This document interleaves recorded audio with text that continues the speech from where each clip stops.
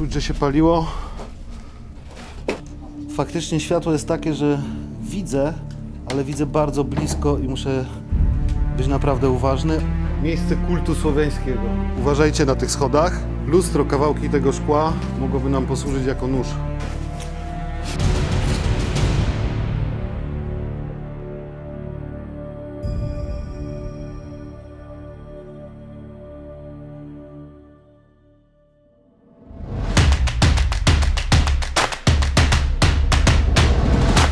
Cześć, witajcie na kanale Kolba TV. Ja jestem Morden i dzisiaj zabrałem Was na Urbex. Przećwiczymy sobie trochę skilli survivalowych. Mamy w plecaku całą masę rzeczy, które pozwolą nam zapewnić sobie bezpieczny, spokojny biwak i nasz trening.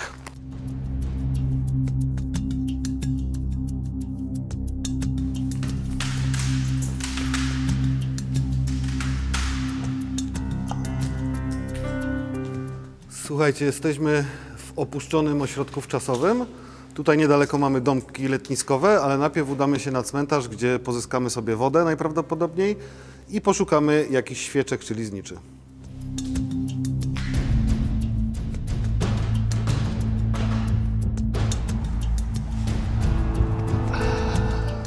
Przyszliśmy na cmentarz, który jest niedaleko naszego ośrodka, w którym będziemy sobie nasze legowisko przygotowywać, ponieważ będzie tu ujęcie wody. Mamy jedną wodę zabraną z domu do butelki, a tu do butelki PET sobie nalejemy wody y, z kranu cmentarnego.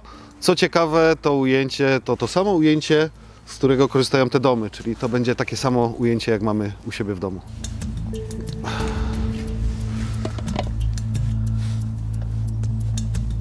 Śmietnik cmentarny to też bardzo fajne miejsce. Jak, jak widzicie, tutaj jeszcze jest trochę wosku, może nam posłużyć jako rozpałka do zrobienia pochodni. Możemy sami sobie z kilku takich zniczy przetopić i za pomocą sznurka zrobić swoją świeczkę. Jak widzicie, to nie są znicze, które się palą, tylko mamy tutaj żarówkę i baterię, więc y, są to, jakby nie patrzeć, latarki. Oczywiście nie mamy żadnej sytuacji kryzysowej, a jedynie trenujemy sobie naszy, nasze survivalowe umiejętności, więc nie będziemy bawić się w hieny cmentarne i nic stąd y, nie zabierzemy z grobów i wy też tego nie róbcie, jeżeli nie musicie. Na cmentarzu zdobyliśmy wodę i świeczkę, mogliśmy też pozyskać latarkę. Latarkę mam na głowie po prostu swoją, którą używam zawsze.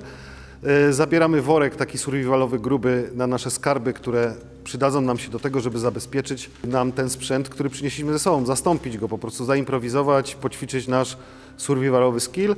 No i dla bezpieczeństwa oczywiście rękawice, żeby się nie zranić w żadną rękę. Wiadomo, te rzeczy też będą brudne, więc rękawice nam się przydadzą. Bez tych rzeczy też byśmy dali radę.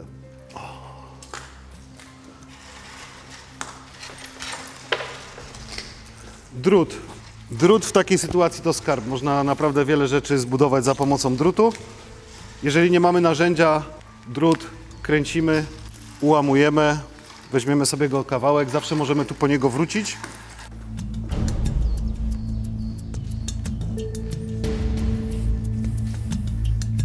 Zobaczymy, co tutaj jest dalej.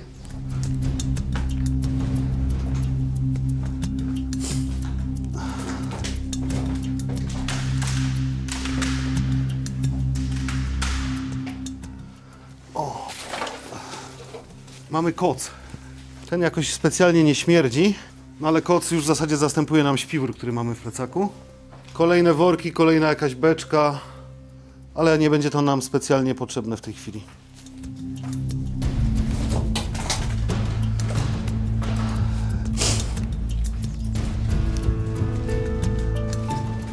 Kolejny drut, instalacja elektryczna. Można z niego naprawdę coś zrobić. Trochę tego drutu byśmy tu pozyskali. Tapeta wilgotna na rozpałkę tak średnio.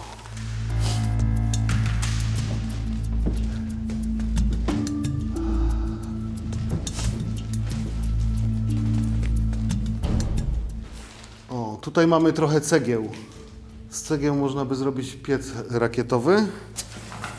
O, to mamy naszą matę do spania. Styropian 5 cm, świetna izolacja w jednym kawałku.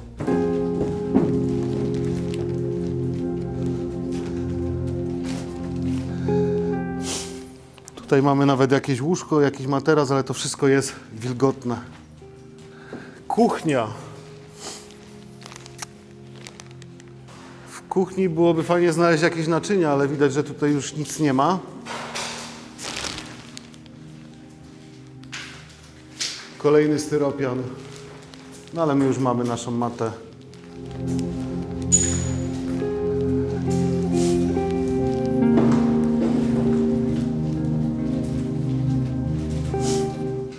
Uważajcie na tych schodach, bo tutaj już ktoś się do nich dobierał.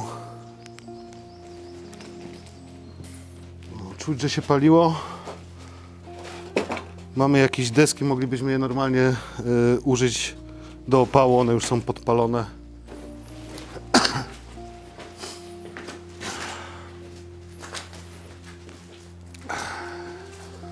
Lustro, kawałki tego szkła mogłoby nam posłużyć jako nóż w sytuacji awaryjnej. Lustro bardzo fajnie tnie, czy szyba taka jak tutaj, kawałek takiego szkła może nam posłużyć do obcięcia na przykład kawałka wykładziny. Tutaj też sam gruz. Jakiś ładny stolik, skrzynki po napojach i można sobie zrobić jadalnię w takim miejscu. Tutaj mamy resztkę parkietu i takie drewno, my tego nie będziemy ruszać, nie będziemy dewastować, ale po takim przebatonowaniu ono na pewno w środku jest suche, nawet w wilgotnym miejscu, bo jest parkiet lakierowany i jest szansa znalezienia suchej rozpałki w, takim, w takiej klepce parkietowej.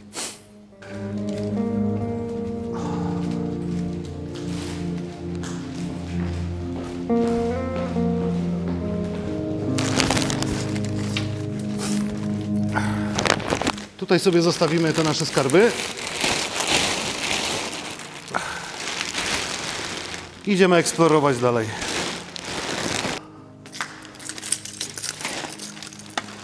Puszka aluminiowa. Po napoju moglibyśmy w zasadzie spróbować w niej ugotować wodę, ale my sobie zrobimy lampion zamiast latarki. Zrobimy sobie nacięcie.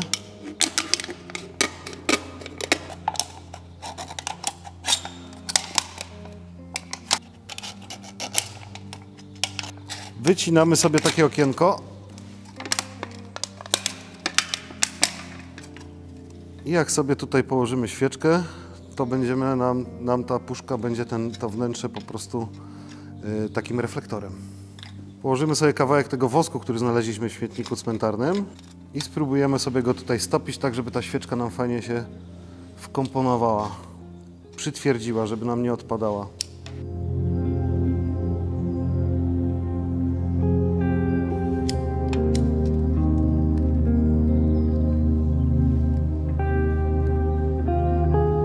Tu mamy nasz kawałek druta, który znaleźliśmy przed chwilą i zrobimy sobie taki wieszaczek na to, żeby się nie poparzyć, żeby sobie wygodniej to przenosić.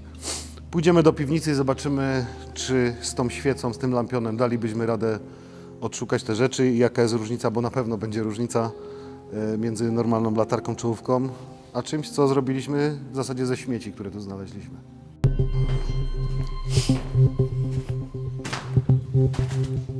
Faktycznie światło jest takie, że widzę, ale widzę bardzo blisko i muszę być naprawdę uważny. Oko też po pewnym czasie się przyzwyczaja, więc spokojnie z takim światłem dajemy sobie radę. Oczywiście latarka jest dużo lepsza w tym, w tym temacie. Jak widzicie w tej piwnicy okna są e, powybijane, nie jest tu tak bardzo ciemno, ale z czołówką dużo lepiej nam się tu sprawniej porusza niż, niż z tym lampionem. A z lampionem też byśmy dali radę, nie byłoby problemu, uważaj.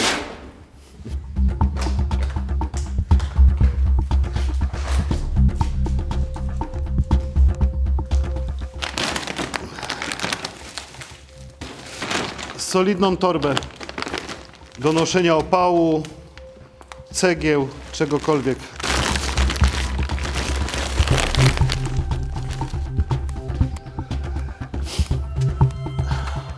O, mamy tu korę brzozy. Ona sama odchodzi nawet bez noża. Przyda nam się trochę na rozpałkę. Tutaj teraz mamy takie domki letniskowe i myślę, że tam mamy szansę znaleźć dużo fajnych fantów.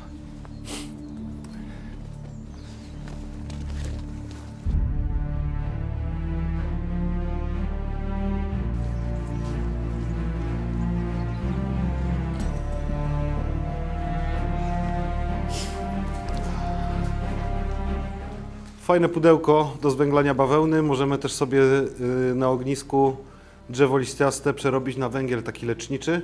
Może zrobimy kiedyś o tym osobny odcinek, więc pudełko zabieramy. I kwiatek, żeby było nam przytulniej. Całkiem sprawne krzesło.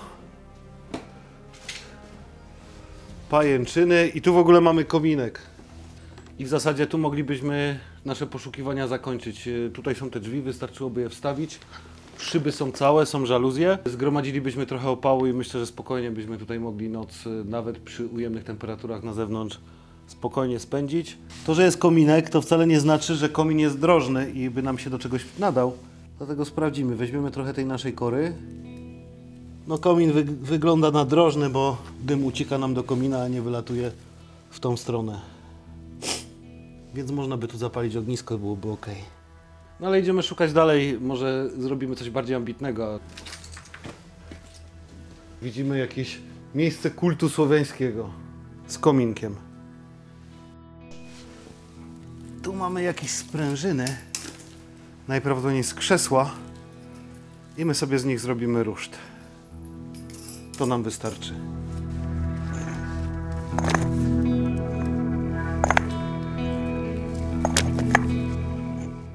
Kawał styropianu, powiem Wam, że będzie nas lepiej izolował niż chyba nawet najlepsza mata, może niekoniecznie będzie tak wygodny. I zrobimy sobie takie zestawienie, bo mamy tu matę samopompującą, więc tu zamiennik znaleźliśmy na urbeksie. Śpiwór, zamiast śpiwora mamy dwa koce. Tutaj mam metalowe naczynie, mieliśmy po drodze jakieś puszki, butelki, moglibyśmy y, użyć sobie tego, tego naczynia. Mamy sznurek, tu w środku mam jeszcze kubek krzesiwo i coś do zjedzenia, to za chwilę. Drut wzięliśmy ze sobą, ale drut mamy, sznurki też znaleźliśmy. Tutaj mamy sznurki, nasz ruszt, drut, mamy korę. Tutaj mamy plecak, ale mamy też worek. Y, Dużo worków na świecie spotkaliśmy, ale my mamy ten nasz survivalowy i zrobimy sobie z niego plecak. Oczywiście ten plecak można zrobić na kilka różnych sposobów, ale my sobie zrobimy nasz plecak przy użyciu czegoś, czego legenda miejska głosi, że nikt nie zrobił jeszcze. Nie rozpód swojej survivalowej bransoletki po to, żeby wykorzystać sznurek. Tutaj ma być nieco ponad 3 metry sznurka, więc sobie tego użyjemy. Mamy też kawał drutu, mamy trytytki i znaleźliśmy takie kółka, które użyjemy. One są z karnisza tutaj. Oczywiście pętla ze sznurka by się sprawdziła równie dobrze i potrzebujemy dwa jakieś kamienie, to jakieś kawałki cegły z zaprawą, jakiekolwiek by one nie były. Pokażę Wam jak to zrobić, jest to banalnie proste. Jest to trochę żmudne, a każdy splot pewnie rozplątuje się inaczej. Ja robię to drugi raz w życiu. No i mamy nieco ponad 3 metry sznurka. Bierzemy sobie nasz worek. On jest trochę duży, Zwykły worek na śmieci też by nam się nadał. Bierzemy nasz kamień i znajdujemy sobie jeden dolny róg naszego worka na dnie. Oczywiście można to zrobić wszystko sznurkiem. My sobie weźmiemy kółko z karnisza i weźmiemy sobie trytytkę. Tu mamy nasz kamień, tu mamy, mamy naszą pętelkę i trytytką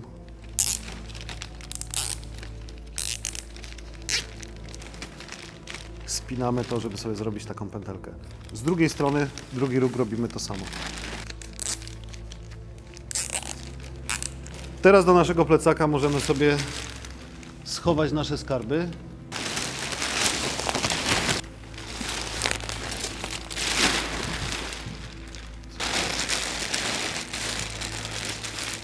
Robimy supeł. Bierzemy sobie nasz sznurek, złóżmy go sobie na pół. Zróbmy sobie tutaj pętelkę. Przełóżmy ten nasz sznurek.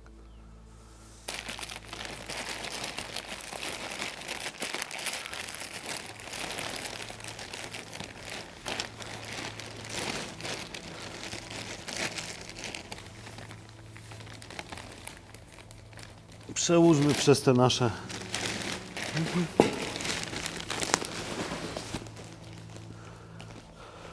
Trzymamy sobie cały czas ten sznurek. Musimy znaleźć drugie ramię. Mamy je tu. Zakładamy. Podciągamy nasz plecak.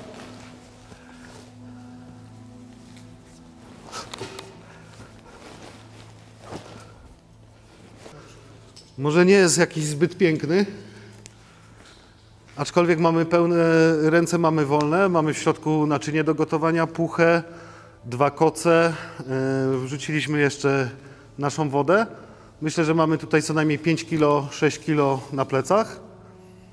Niosąc to w rękach i jeszcze robiąc inne rzeczy, nie mówiąc już o ucieczce, próbie obrony, y, byłoby to dla nas po prostu niewygodne, czy nawet z workiem trzymanym w ręce, tak? Ten worek nam się trzyma. Jak widzieliście, y, nie niszczyliśmy nic, nie cieliśmy. Mamy jeden kawałek sznurka. W każdej chwili możemy to rozplątać i ten sznurek użyć do czegokolwiek innego. On dalej jest w całości. Że w momencie, w którym zatrzymujemy się, już nie wędrujemy, chcemy gdzieś obozować, nasz plecak możemy przerobić na coś zupełnie innego. Mamy tutaj jakąś kanapę, trochę materacy. Usprzątniemy sobie to w ten sposób, że zabarykadujemy ten, te wejście z tej strony. Raz, żeby nam y, mniej wiatru wiało, a dwa, żeby nam na przykład żadne zwierzę nie przyszło.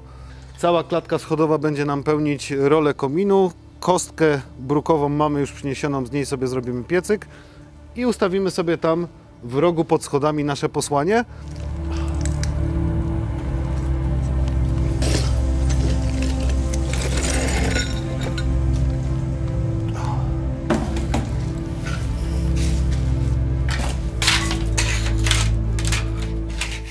Dobra, ustawimy sobie tutaj piecyk rakietowy i to ciepło będzie nam wpadać do środka.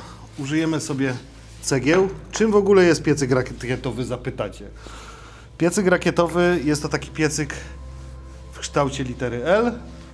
Nasz dym będzie sobie leciał tutaj, klatka schodowa będzie pełnić też rolę komina. My na piecyku będziemy mogli sobie podgrzać posiłek, yy, ugotować wodę na przykład na kawę.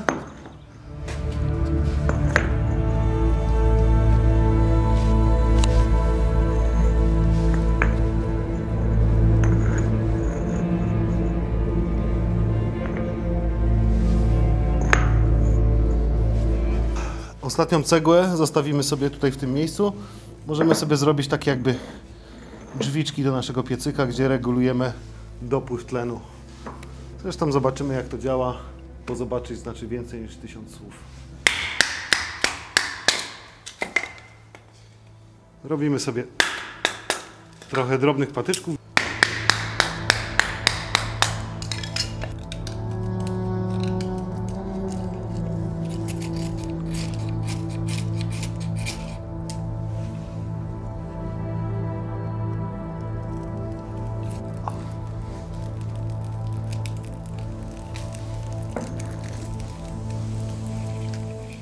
Dodałem jeszcze trochę kory i teraz kładę tu drobne patyczki.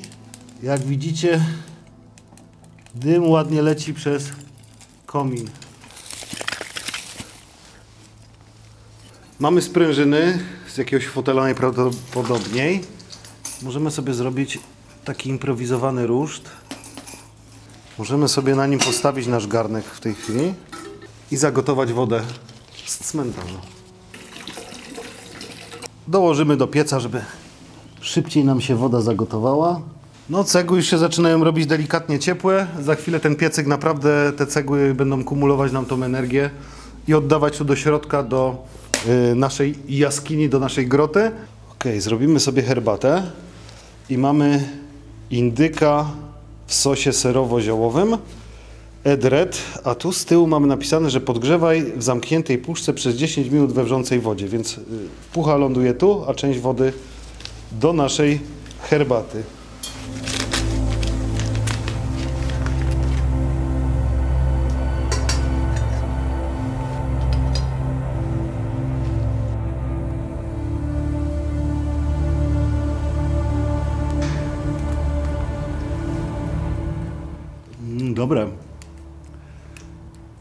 Indyk w sosie serowo-ziołowym.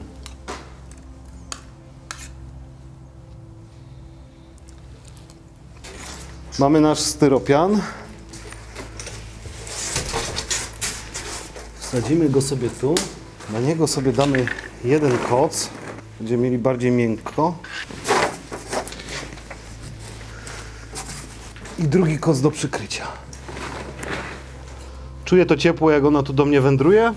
Oczywiście zrobiło nam się tu w miarę ciepło i w tej chwili nawet może byśmy mieli już za ciepło z tym piecem, ale rano było nam tu naprawdę chłodno, a w nocy znowu będzie zimno.